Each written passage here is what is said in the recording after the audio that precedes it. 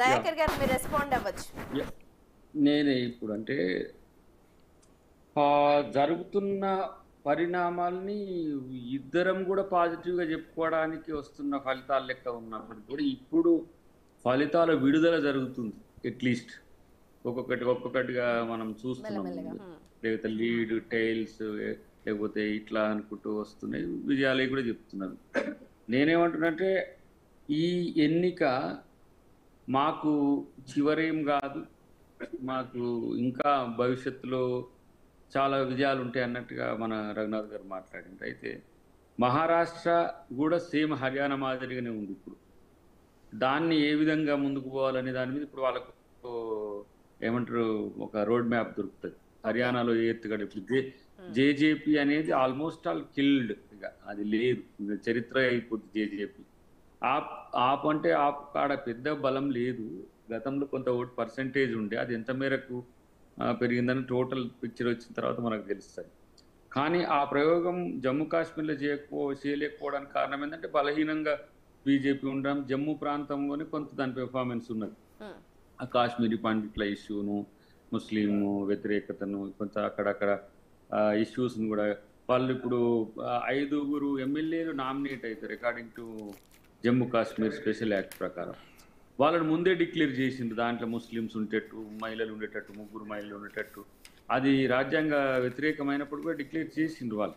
అయినప్పటికి కూడా అక్కడ ఫలితాలు వాళ్ళకు అనుకూలంగా లేవు. కానీ హర్యానా విషయంలో నాకు చివరి చివరి సమాచారం వచ్చేంత వరకు కూడా అంటే మీన్స్ దాని. ఫినల్ స్టేజ్ వచ్చేంత వరకు కూడా మనం చేయలేము.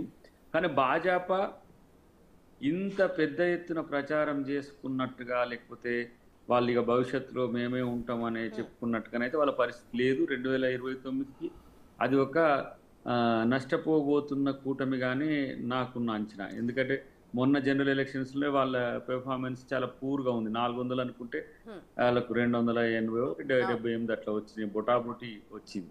సో వాళ్ళ పట్ల ప్రజలకు నమ్మకం లేకపోగా ఇప్పుడు ఈ వన్ నేషన్ వన్ ఎలక్షన్ తోనో చేంజ్ ఆఫ్ ది కాన్స్టిట్యూషన్ తోనో రిజర్వేషన్ల మీద చర్చ పెట్టో హిందూ ముస్లిం చర్చ పెట్టో వాళ్ళు రెండు వేల ఇరవై తొమ్మిదిని కైవసం చేసుకోవాలనుకున్నా కూడా చేతిలో బలం లేని వాళ్ళు యుద్ధం చేసినట్టుగానే బీజేపీ కనబడుతుంది మీరు హర్యానా విషయం ఎత్తారు కాబట్టి నేను చెప్తాను. ఇక్కడ అనలిస్టులు మాట్లాడిన విషయం ఏంటంటే లోకల్ పార్టీస్ని కలుపుకోకుండా పోవడం వల్లనే ఇవాళ హర్యానాలో కాంగ్రెస్ పార్టీ తీవ్రంగా దెబ్బతినింది.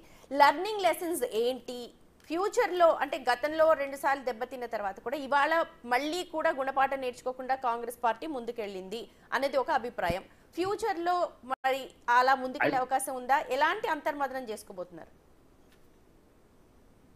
మేము ఇప్పుడు ప్రయత్నం చేసినవి కూడా ఉన్న పార్టీలు వాటిని ఆల్మోస్ట్ ఆల్ బీజేపీ కంట్రోల్లో ఉన్నాయి. జేజే అనేది అయితే గతంలో కాంగ్రెస్ పార్టీ ఓటమి కొరకు పుట్టిన పార్టీ. ఇప్పుడు అది ఓడిపోయినా తనకి ఎంపీనో ఏదో రాజ్యసభ ఇచ్చేస్తారు. అకామిడేట్ చేసుకుంటారు. ఆప్ మాతో ఇండియా కూటమిలో ఉన్న పార్టీని.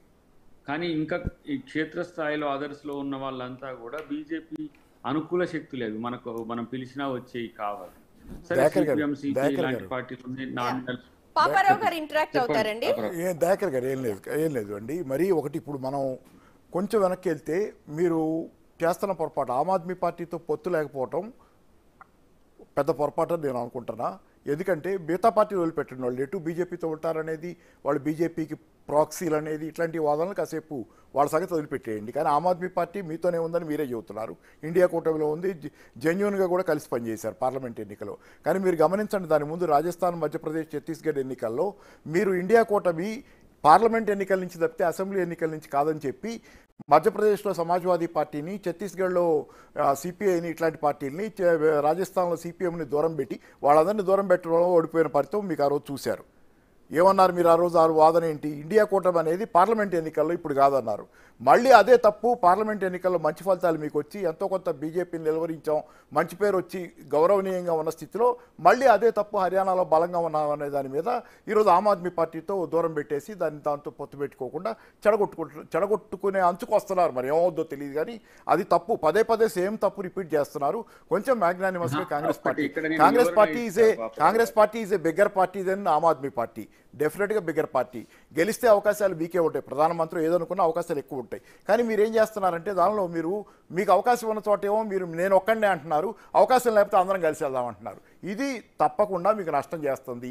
ఈసారైనా ఆమ్ ఆద్మీ పార్టీ మీతో పార్టీ గురించి ఒక వివరణ. ఆమ్ ఆద్మీ పార్టీ గురించి ఏమి వివరణిస్తారు ఆ, అదొక్కటి ఇస్తా. మిగతా ఏమో కొంత అది అటు ఇటుగా ఉన్నాయి. కానీ ఆమ్ ఆద్మీ పార్టీ విషయంలో తను సమదూరాన్ని పాటించాలని బయటికి వెళ్ళిన తర్వాత జైలు నుంచి బయటికి వెళ్ళిన తర్వాత ఆమ్ ఆద్మీ పార్టీ ముఖ్య ఎవరైతే మన కేజ్రీవాల్ ఉన్నాడో ఆయన న్యూట్రల్ హర్యానాలో తను కూడా ప్రభావం చూపబోతున్నా అనే ఆలోచనతో ఉన్నప్పుడు మేము వాళ్ళను వ్యతిరేకించడం మా కూటమిలో ఉన్నంత మాత్రాన తన ఇండిపెండెన్స్ను ప్రశ్నించే విధంగా వ్యవహరించడం అనేది మా ధర్మం కాదు.